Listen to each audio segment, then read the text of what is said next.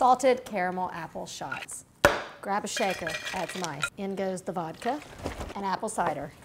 Two to one apple cider to vodka. A couple pinches of cinnamon and a small squeeze of lemon.